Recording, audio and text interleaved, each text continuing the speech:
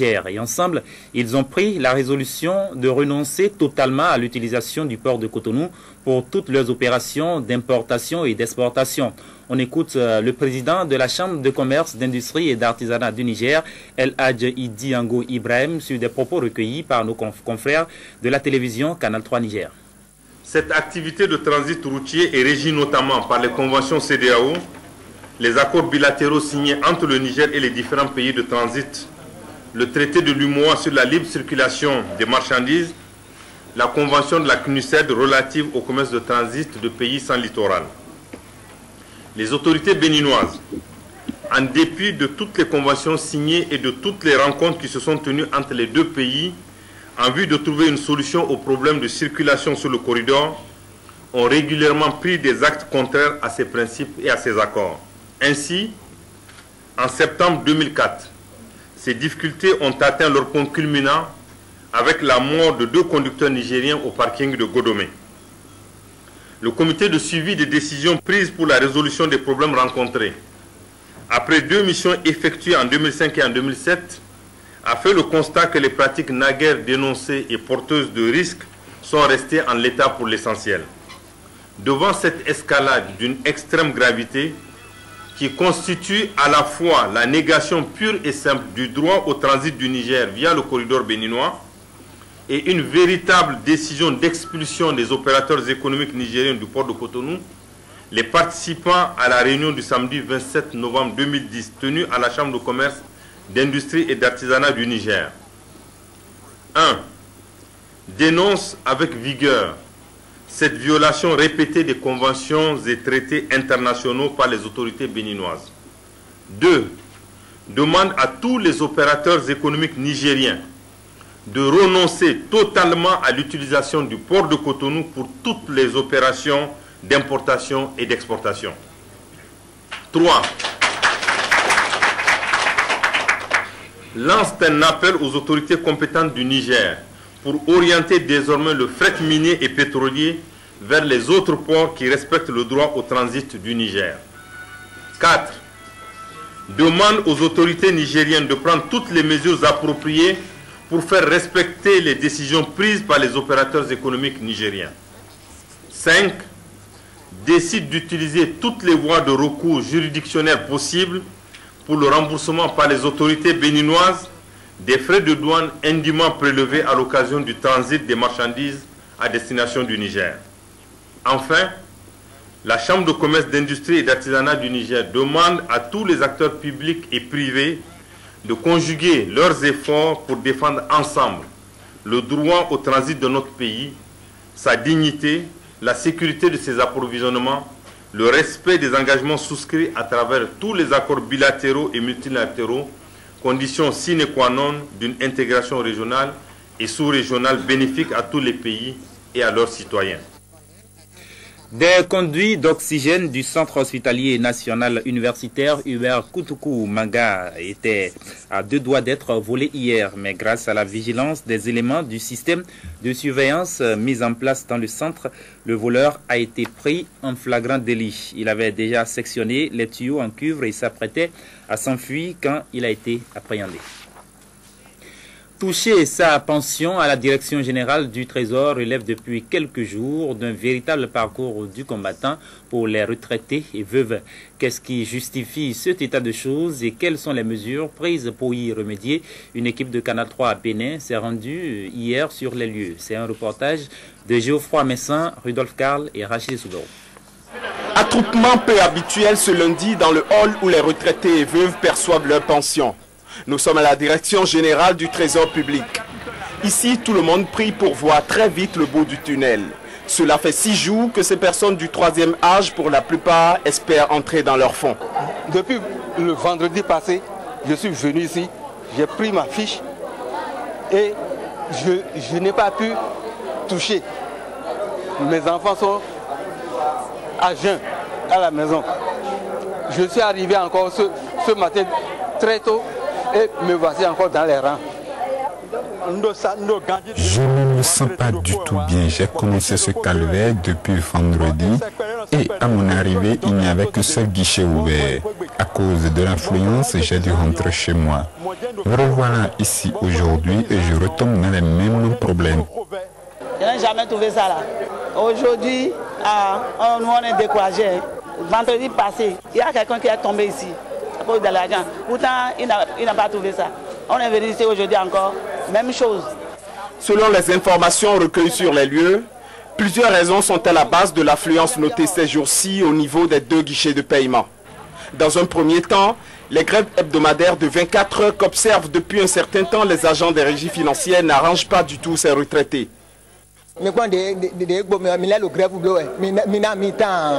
Grève bɔn lo yi yi yi nu lɛ diɛ ko ne lɛ diɛ ni. Bleu. Il mi wa mi na bla mi. Bon ko et mi paraîtrait qu'ils sont en grève. Pourquoi ils font grève? Moi, je ne sais pas. Moi, j'ai cotisé ici. J'ai cotisé. Donc, je suis venu prendre ce que j'ai cotisé. Je ne suis pas venu pour dire passez-moi de l'argent. Ce qui complique encore plus les choses, c'est que dans les rangs des retraités, tout le monde ne respecte pas le calendrier de paiement établi par la direction du Trésor. Pour ceux qui n'ont pas encore perçu leur pension de- du 1er décembre, je vais leur dire de se patienter. Nous, nous avons travaillé aujourd'hui lundi. Demain mardi, nous allons encore travailler. Et mercredi, nous sommes encore là. L'affaire Danivo est sans doute la principale cause du supplice que vivent ces retraités. Plus que jamais, il est temps que autorités et syndicalistes s'entendent pour mettre fin à la douleur de ces victimes innocentes. Il sonne 14 heures, heure de la pause dans les administrations, et pour beaucoup ici, rien n'est sûr pour aujourd'hui. Il faudra certainement revenir demain.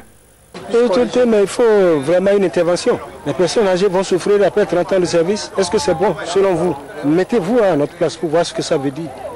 Donc, c'est pas bon. C'est une injustice. Grande prière de délivrance au palais des sports du stade de l'amitié de Kourounou. Les responsables de l'ONG Mon étoile brille de mystère MEBN ont procédé dimanche au désenvoûtement des personnes présentes à cette séance de prière. C'était à travers une opération dénommée le mystère des saint bougies. Des prières et louanges pour la paix au Bénin étaient également au menu de ce rendez-vous spirituel. Roland Arefa et Barnaby Vincent.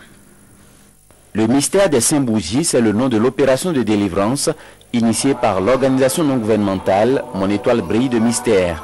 Cette grande prière d'exorcisme et de désenvoûtement annuel se déroule dans le mois de décembre et pour cause. Dans le mois de décembre, il y a beaucoup de choses qui se passent.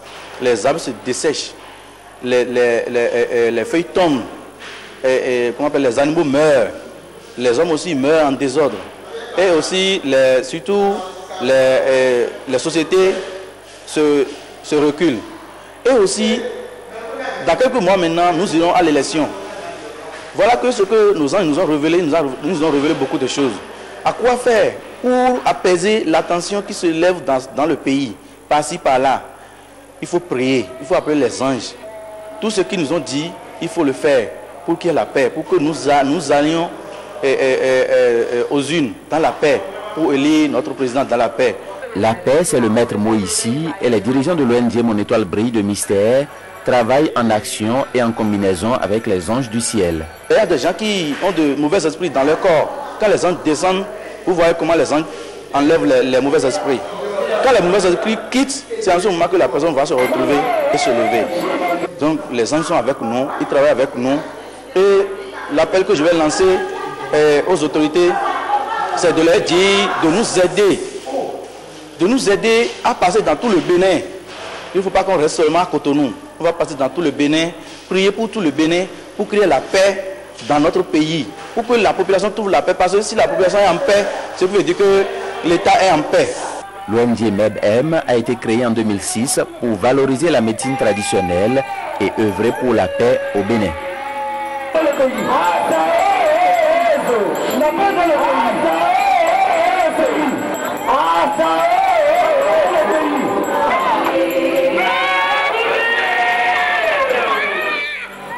La BOA célèbre en ce mois de décembre ses 20 ans d'existence au service de sa clientèle.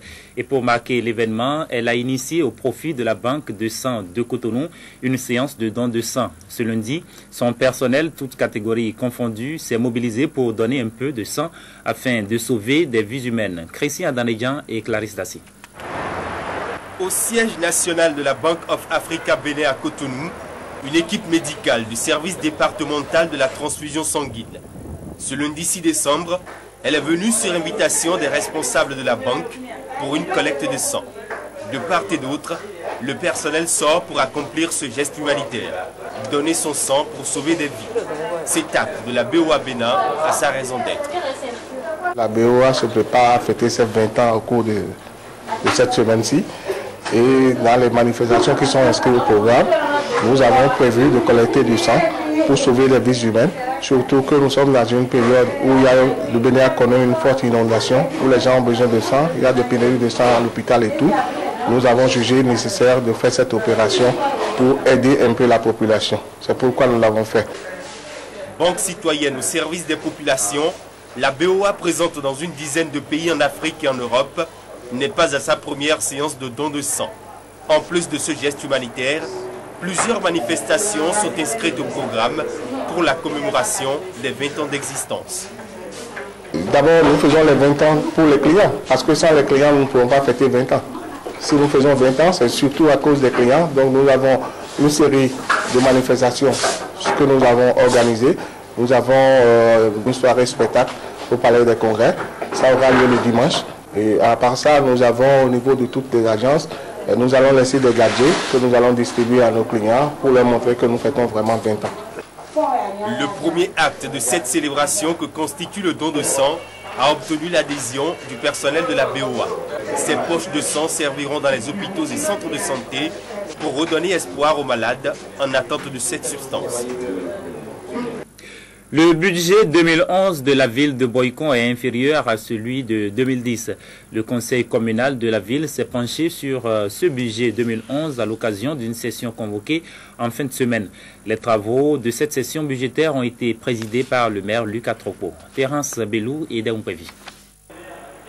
Cette session budgétaire, vu son enjeu pour la commune et les prochaines échéances, a mobilisé tous les conseils élus autour de l'exécutif, étudier et débattre de la loi des finances exercice 2011 pour la commune.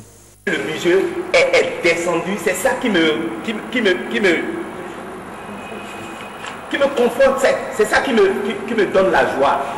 L'utopie que, que je décriais depuis, depuis, depuis, commission qui a travaillé sur ce budget. Quand c'est mauvais, nous le disons? Mais quand c'est bon, il faut aussi le dire. Une autre fois, il faudrait qu'on voit un peu les choses. Donc, je ne refuse pas qu'on voit les reformulations, le fond. Comment est-ce que euh, le français est manipulé là? Si ça ne va pas tel qu'on dit que c'est une source, une, source de, de, quoi? Une source de recette, la population décentralisée. Un budget qui s'équilibre en recettes et en dépenses avec un accent particulier sur les investissements puisque l'année qui s'achève a été une année charnière et celle qui s'annonce verra le maire et son conseil s'investir beaucoup plus dans les arrondissements où les populations, malgré ce qui est fait, manquent encore de beaucoup de choses. En 2011, nous avons mis l'accent euh, en ce qui concerne l'investissement sur la construction des infrastructures nous avons insisté sur la performance de l'administration communale. C'est ça le gage de, tout développement.